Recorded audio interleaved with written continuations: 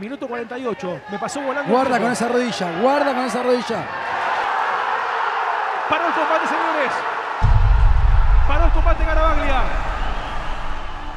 Eh, fue un poco raro porque al principio el empezar a digerir el resultado, nada, con el tiempo empezamos a descubrir un par de cosas y a ver que la cosa no había salido tan mal.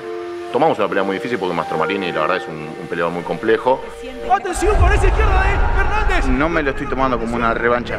Buscando el resultado eh, opaca el sentimiento y todo lo que pone en el laburo y la verdad que ahora lo que estoy haciendo es disfrutar un poco de, de- de lo que estamos haciendo, ¿no? Mati es muy virtuoso, pero no había llegado tan bien físicamente. Y después él no tenía tal vez la calma mental que hoy sí tiene. Esto se lo debo mucho a mi equipo y a mi entrenador. Volví a ganar equipo y eso es lo que más rescato de, todo esto. Creo que la gente vio lo que podemos dar con dos semanas de entrenamiento y ahora con mucho más tiempo creo que, que se va a notar mucho más nuestro trabajo. Yo estoy involucrado en las MMA hace alrededor de seis años y medio y quería algo diferente para mi vida. Y sabía que si quería algo diferente tenía que involucrarme en el deporte. Ya desde el primer día me demostró ser un chico fuerte tanto en lo físico como en lo mental, sobre todo en lo mental, donde veía una situación muy difícil, él crecía y podía encontrar las herramientas para salir adelante. La otra vez escuché a un amigo que me decía una frase, que me decía, tenés dos opciones.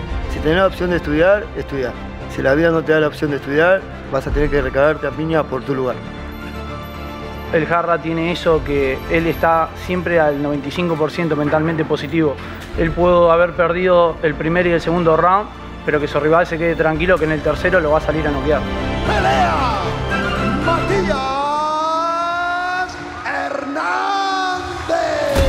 Ya nos conocemos y lo único que va a hacer ahora es ser más visible lo que ya pasó. Eh, para mí fue una pelea cerrada, a mi consideración la ha ganado Mati cuando se llega a las tarjetas en una pelea bastante cerrada como la de ellos, me parece que es difícil el fallo. Bien, mi expectativa es que espero que esté entrenado, espero que esté fuerte, porque yo mejoré, yo estoy mucho más capacitado que antes y pretendo dar un buen show y pretendo una buena pelea. Siempre respeto al rival porque se habrá preparado y se va a preparar a mil, pero yo confío en lo que preparamos al Jarra y va a ser una pelea dura, pero eh, el Jarra se va a llevar el brazo en alto seguro. Llegamos mejor preparados porque ya la experiencia de haber peleado con él, eh, entender el potencial del rival, te ayuda muchísimo más a preparar un plan. Tanto para él como para mí ya nos conocemos y creo que la pelea va a ser mucho mejor que la anterior y el resultado va a ser mucho más visible.